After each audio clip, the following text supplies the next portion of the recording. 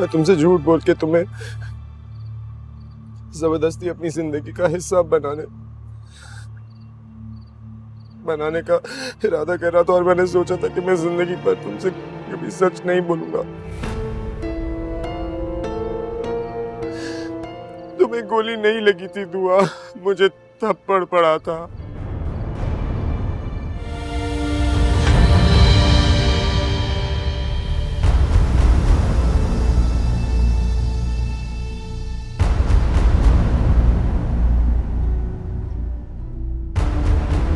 भूल जाए सब कुछ।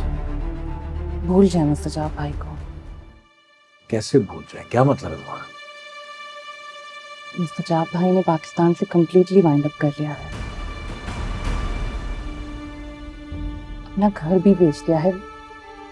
घर बेच दिया मतलब?